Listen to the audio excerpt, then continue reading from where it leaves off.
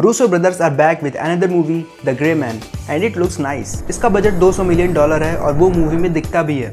Of course ऐसी cast रोज देखने को थोड़ी मिलती है। Chris Evans as Lloyd Hansen and Ryan Gosling as Sierra Six main characters in the movie Ana de Armas का भी कैरेक्टर अच्छा है, लेकिन वो कुछ खास नहीं था। और कह सकते हैं दैट ये एक न्यूट्रल रोल था। वो स्टोरी में एक डिसेंट पार्ट प्ले करती है। एंड आई थिंक दैट थोड़ा और इम्पैक्ट होना चाहिए था इस कैरेक्टर का। Suzanne Brewer played by Jessica Henwick ये एक सीआईए ऑफिशियल है, जो ये चाहती है कि उसकी और सीआईए की इमेज बस सही रहे। बाकी उसको दुनिया से घंटा फ़र्क नहीं पड़ता। इसीलिए वो हमेशा लॉयड को क्रिटिसाइज करती रहती है। और हाँ धनुष को कैसे भूल सकते हैं?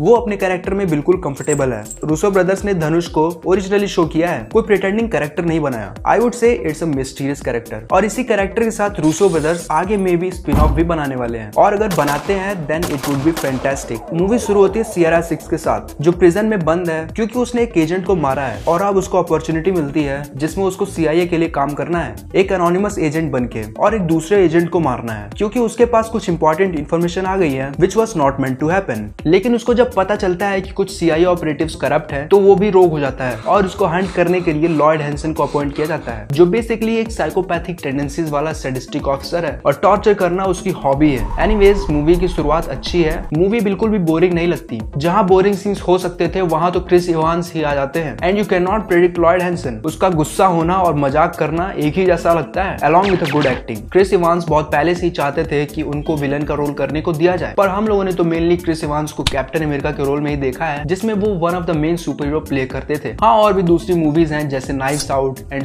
Snowpiercer Dhanush एक फ्रीलांस असेसिन है, जिसको लॉयड अपॉइंट करता है सीआरएस को मारने के लिए। धनुष के one of the best action scenes हैं सिक्स और डैनी के साथ in which he do not fights like south movies और मे बी आगे आने वाले पार्ट्स में धनुष देखने को भी मिले। और ये मूवी जेम्स बॉन्ड और मिशन इम्पॉसिबल के लेवल का एक्शन दिखाती है। हाँ कहीं कहीं कुछ ज़्यादा ही क्लीशे मूवमेंट्स भी हैं, लेकिन ये डेफिनेटली सिक्स अंडरग्राउंड और रेड नोटिस से अच्छी है। इसमें सही जगह ह्यूमर को यूज़ किया गया है। और लव एंड थंडर की तरह नहीं कि कहीं कोई मर भी रहा हो वहाँ भी मज़ाक घुसा दिया हो। ज़बरदस्ती कोई चीज़ फनी बनाने की कोशिश नहीं की। ओवरऑल मूवी वर्थ वॉचिंग है और डायरेक्टर्स को अच्छे से पता है कि कैसे ऑडियंस को हुक करके रखना है खासकर इस टीवी एंड वेब सीरीज़ के एरा में जिसमें कैरेक्टर से कनेक्ट होना बहुत मुश्किल है। पर नेवर इसका यूनिवर्स भी फर्दर एक्सपेंड होगा। अगर ये मूवी सक्सेसफुल होती है तो। And I think it should क्योंकि इसकी एंडिंग आगे पार्ट्स बनाने की भी डोर्स खोलती है। ओके okay, अब कुछ स्पॉइलर टॉक हो जाए तो पहले तो मैं बात करना चाहूँगा उस लास्ट फाइट सीन की। जब सियारा सिक्स और लॉयड दोनों लड़ रहे होते हैं लॉयड बहुत कॉन्फिडेंट नज़र आता है। जैसे उसको पहले से ही पता हो कि मैं जीतने वाला हूँ, लेकिन वो अपने सीनियर सीआई ऑफिशियल के हाथों मारा जाता है, जिसको प्ले किया है जेसिका हेनविक ने। जेसिका ने गेम ऑफ़ थ्रोन्स में भी छोटा सा रोल प्ले किया था। एंड आई पर्सनली थिंक इस कैरेक्टर के बहुत ही कम सीन्स थे, और इस कैरेक्टर को कोई भी आराम से प्ले कर सकता था। लॉयड को मारने के पीछे सिर्फ़ एक यही वजह थी कि उसने पूरे एजेंसी का नाम खराब कर दिया है। इतने ज़्यादा कोलेट्रल डैमेज और डिस्ट्रक्शन करा के, और सिविलियंस की जान लेने को तो वो ऐसे कह रहा था, जैसे कोई जीटीए फाइव खेल रहा हो और पता नहीं कितनी टीम्स भेजता है सिक्स को मारने के लिए। Alpha bravo charlie beta gamma और वो सब सिक्स के हाथों मारे जाते हैं। उस फाइट सीन में एक और बिजार चीज़ हुई। सियरा सिक्स ने लॉयड को उसकी नाइफ वापस टॉस कर दी और उसके बाद लॉयड उसको तीन से चार बार स्टैप करता है। लेकिन उसके ऊपर स्टैबिंग को कोई फ़र्क नहीं पड़ता। ये शो करता है की सिक्स एक इगोइस्टिक मैन है। इसका रेफरेंस जब डैनी उसको ट्रेन से सेव करती है, तब भी दिखता है। और वो लॉयड को ये भी शो करना चाहता है की मैं कितना टफ हूँ, क्यूँकी बचपन उसका ट्रॉमा से कम नहीं था। उसका बाप उसको सो कॉल टफ बनाने की ट्रेनिंग देता था, जिसकी वजह से सिक्स एक सिंपथी लेस एजेंट बन चुका है। मूवी की स्टोरी ओल्ड स्कूल है और काइंड ऑफ़ प्रेडिक्टेबल भी है। और होगी भी क्यों नहीं, जब ये फुली एक नॉवल पे बेस्ड है। वही पुरानी स्पाई थ्रिलर स्टोरी लाइन को फॉलो करती है। बॉटम लाइन ये है that it is one of the best movie of 2022 और प्रोबेबली ये मूवी नेटफ्लिक्स के लूज टू मिलियन सब्सक्राइबर्स को वापस भी ला दे।